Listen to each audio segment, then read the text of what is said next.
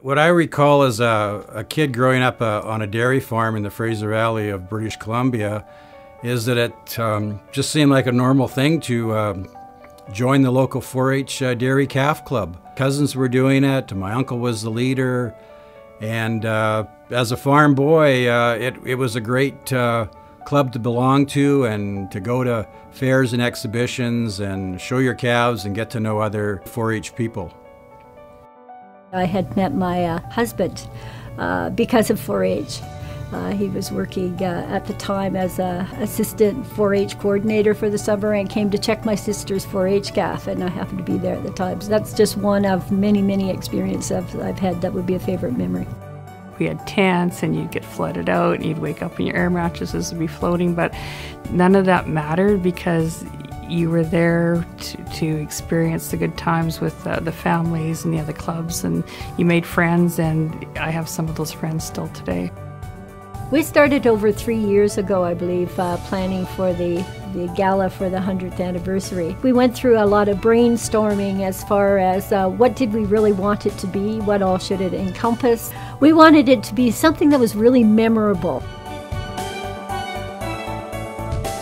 History is very important to uh, 4-H in any organization, but it's, it's not a matter of just recording history, it's a matter of understanding it and understanding how it bridges to the future and how we go forward in creating uh, 4-H in Canada for the next hundred years. There's no doubt that the strength of the 4-H program in agriculture in Canada is its ability to, to change and adapt. This being our 100th anniversary gala, you know, uh, we're, we're, always thinking, and I want to see 4 H here uh, 100 years and more down the road. I would love that people know what 4 H is.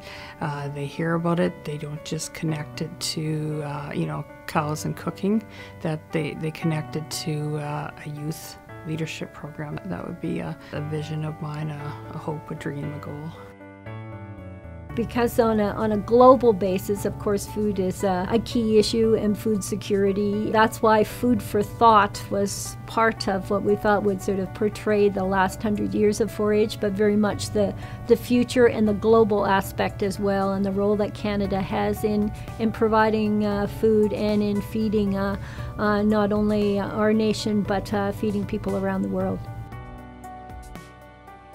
If you're going to come to the 100th anniversary, we want to make sure that it's something that uh, people will say, wow, I remember, and, and they'll hopefully say this in decades to come. I remember being at the 100th anniversary gala in Winnipeg, and it was really something, and these are the things that happened.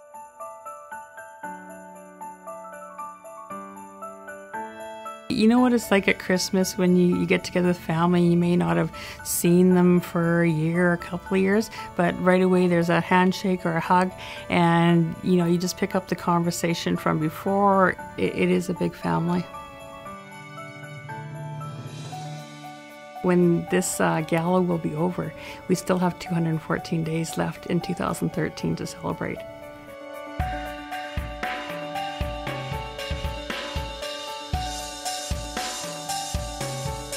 This isn't the end of it.